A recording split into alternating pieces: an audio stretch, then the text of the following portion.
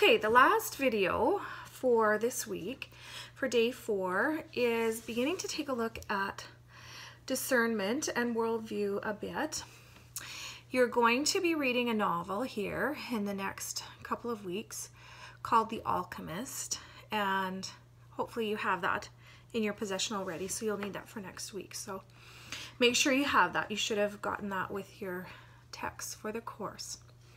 So we want to define those terms a little more clearly and a little more in depth so that you just have some background going into this novel because you're likely going to find you need to use discernment and you likely will find that the worldview of the novel perhaps does not line up with your own worldview. So, discernment. Let's take a closer look at what it is and how we can develop it in our lives. So, according to the dictionary, discernment is the act or process of exhibiting keen insight and good judgment. It's the trait of judging wisely and objectively. We need to show discernment with everyday choices that we make where we go, what we wear, who we're with, what we watch, what to say. All of these things can reveal whether we are being discerning or not. So, of course, for English class, we want to be discerning about what we read. And there are some books and pieces of literature that just aren't worth taking the time to read. But you're going to find that there are pieces of literature that you are asked to read for classes, um, maybe high school or university, that contain ideas and values that are not in line with what God says is true. And that's where we, the real discerning needs to take place. We must be careful not to be like um, young babes, tossed back and forth by the waves, blown here and there, and by every wind of teaching, and by the cunning and craftiness of men in their deceitful scheming.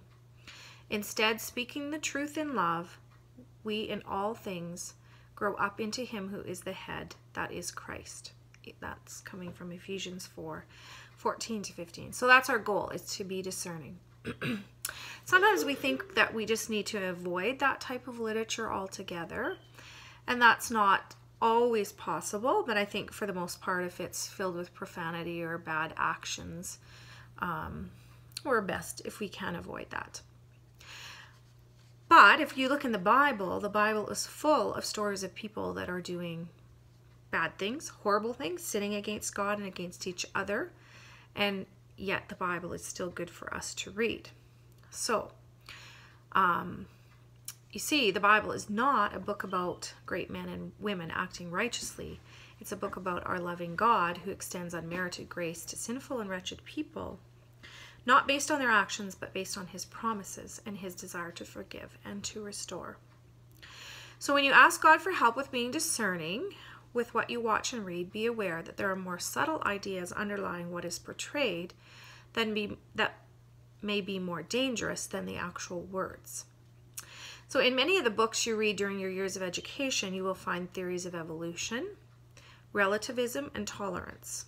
You need to be aware of these underlying ideas when you read, in both fiction and nonfiction, even in newspapers. Sometimes it's easy to see these, and sometimes it's easy, not so easy to see. And sometimes these ideas have infiltrated our society to such an extent that we can be easily persuaded that they are right or good. And if you read in Proverbs 14:12 and 16:25, they say there is a way that seems right to a man, but the, in the end it leads to death. Jesus himself warned us to be as shrewd as snakes and as innocent as doves in Matthew 10:16. When he says that, he says we need to be wise and show good judgment. We need to be careful who or what we believe or follow, but we need to do it in a loving, kind manner. Many ideas are presented in the media and in our society as right, fair, and good.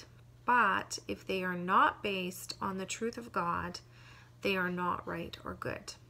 So we must see that no one takes us captive through hollow or deceptive philosophy which depends on human tradition and the basic principles of this world rather than Christ. And that's coming from Colossians 2 8.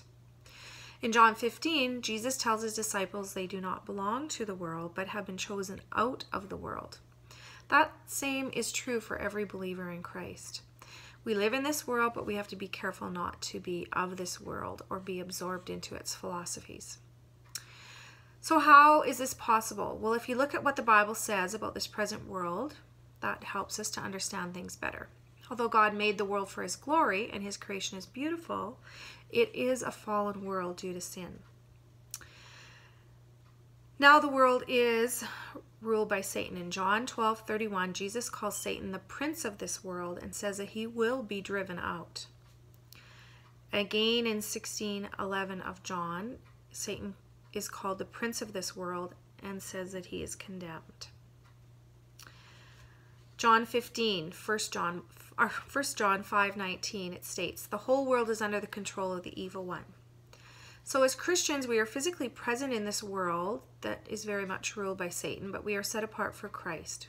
We no longer need to be ruled by sin. When Jesus prays for his disciples in John 17, he says, For they are not of this world any more than I am of the world. My prayer is that not, not that you take them out of the world, but then you protect them from the evil one. They are not of the world, even as I am not of it. Sanctify them by your truth. Your word is truth.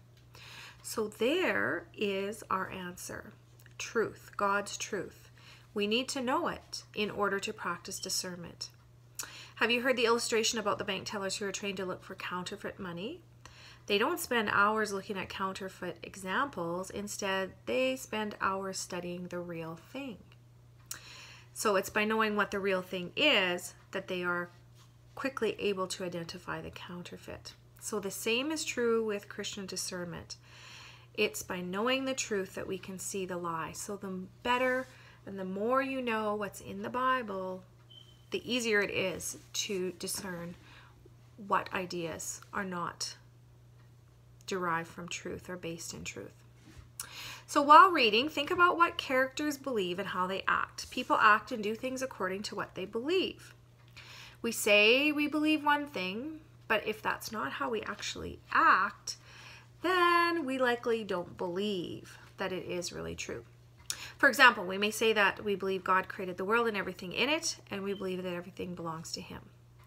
We may say that we believe, like Genesis says, that everything created was good and that God gave humans charge over the animals and plants. However, if we don't take care of plants and animals and don't treat them like they are good things that belong to God, then we're not really acting on what we believe, which calls into question whether we really believe it or not.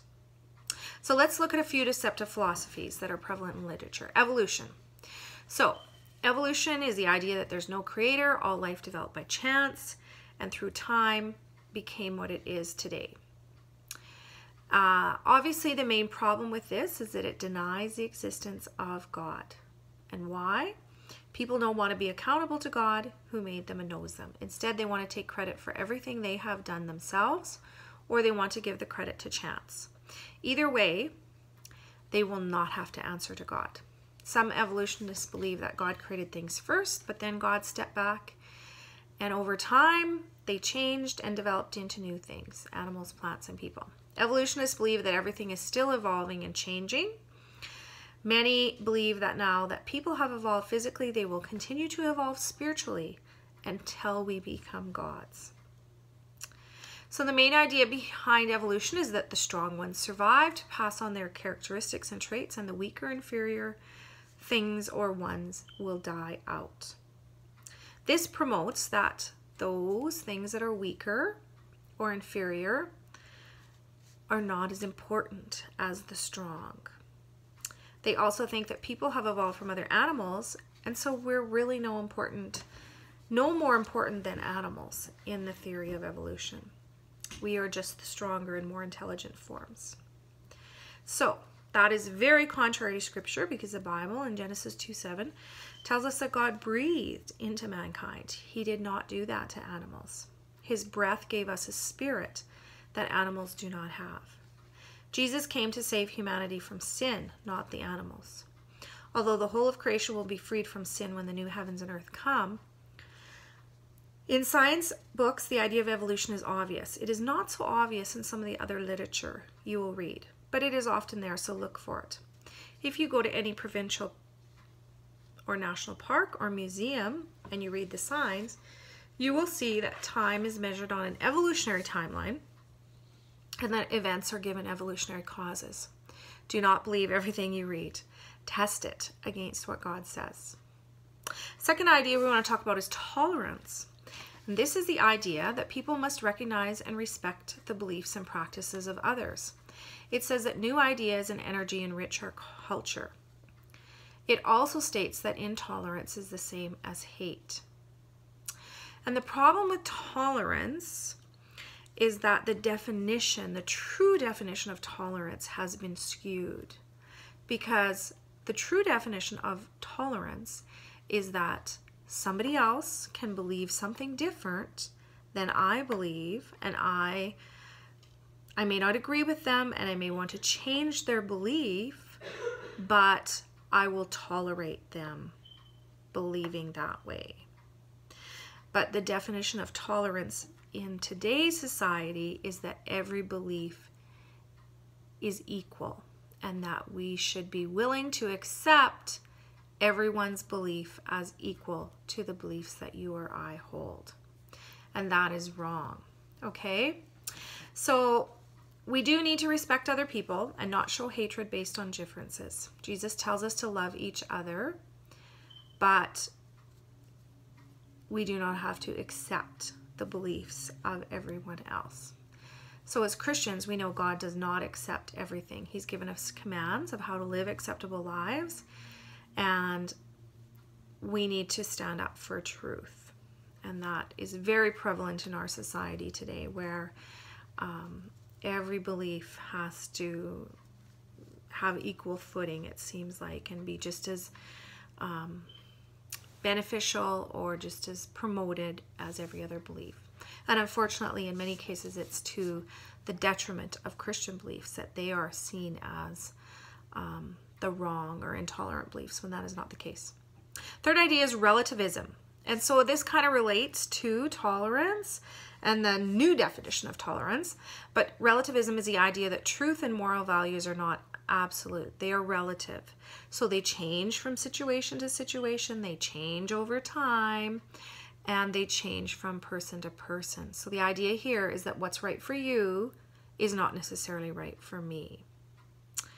And so we certainly would disagree with that. God's principles of truth are for all people and um, will lead to the best lives for all people if you do follow God's truth. So the problem with relativism is that when it comes to things that God has already stated is either right or wrong, then those things just don't line up for relativism. So if God's in his word has said that something is wrong, then it is wrong no matter who does it or in what place or in what time. We need to agree with God. So to be truly discerning, we need to learn to value what God does.